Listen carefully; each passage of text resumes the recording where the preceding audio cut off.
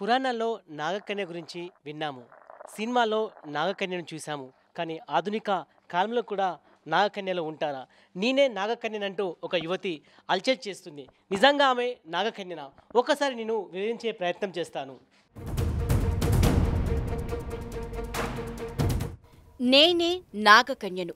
నా శరీరంలోకి నాగకన్య ఆవహించింది. కూలిపోయిన ఆలయాన్ని మళ్ళీ కట్టే వరకు నేను నాగకన్యగానే ఉంటాను అంటూ ఓ యువతి వింత చేష్టలు చేస్తోంది. అచ్చం పాములా ప్రవర్తిస్తూ రోజు నాగదేవత గుడికి వెళ్ళి పూజలు చేస్తోంది. ఈ ఘటన కరీంనగర్ జిల్లాలో చోటు చేసుకుంది. సైదాపూర్ మండలం ఎగ్లాస్పూర్కు చెందిన కృష్ణవేణి అనే యువతి డిగ్రీ వరకు చదువుకుంది. ఓ ప్రైవేట్ స్కూల్లో టీచర్గా పనిచేసేది. అనారోగ్యంతో తల్లిదండ్రులు చనిపోవడంతో నానమ్మ వద్ద ఉంటోంది. ఈ క్రమంలో నాలుగేళ్ళుగా ఆ యువతి తానొక నాగకన్యనంటూ వింత వింతగా ప్రవర్తిస్తోంది.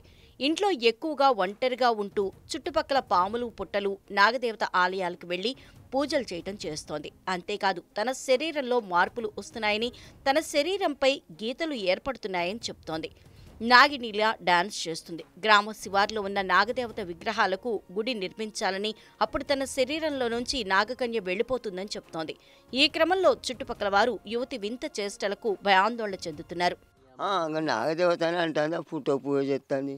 అక్కడికి నాగ నాగల అక్కడ పోతే గుడ్డ కట్టకాడికి అది గుడి కట్టారు పోతే దీపం ముట్టిస్తుంది వస్తుంది ఇక ఇంట్లోకి వస్తుంది ఇవన్నీ ఇక తలుపు పెట్టుకుంటుంది ఇక ఆమె ఏమి మాట్లాడుతుంది ఏమి ఒకసారి నవ్వుతుంది ఒకసారి ఇట్లా చేస్తుంది పసుపు పూసుకుంటుంది కాళ్ళ పెట్టుకుంటుంది చెంపలు పెట్టుకుంటుంది.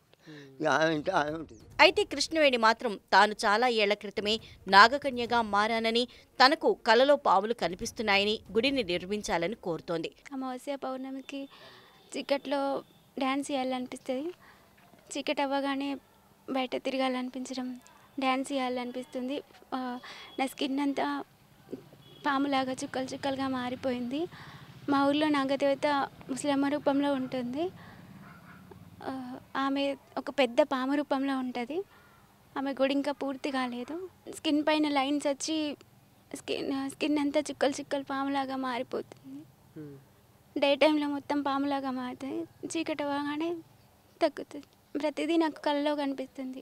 ఎక్కడికి వెళ్ళాలన్నా ఏ దర్శనం ఏ దేవుని దర్శనానికి వెళ్ళాలన్నా ముందే వాళ్ళ కళ్ళలో కనిపిస్తే నేను అక్కడికి వెళ్ళేదాన్ని. రోజు రూపం మారుతూ ఉంటుంది. రోజు ఫేస్ పెద్దగా చిన్నగా అవుతుంది డార్క్ కలర్ డ్రెస్ వేసుకున్నప్పుడు బ్లాక్ అవుతుంది అయితే స్థానికులు కొందరు యువతి మానసిక పరిస్థితి సరిగా లేనందువల్లే అలా ప్రవర్తిస్తోందంటున్నారు. ఇక్కడ కనబడుతున్న అమ్మాయి నిజంగా నాగకన్యనా?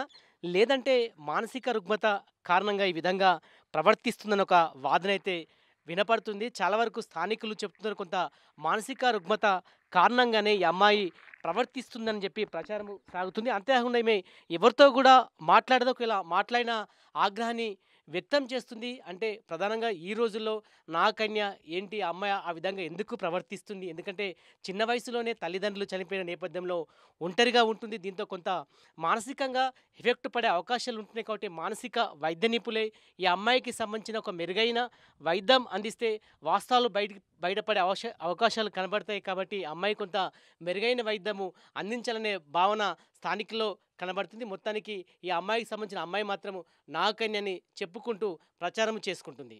కెమెరా పర్సన్ సలీంతో సంపత్ టీవీ నైన్ కరీంనగర్.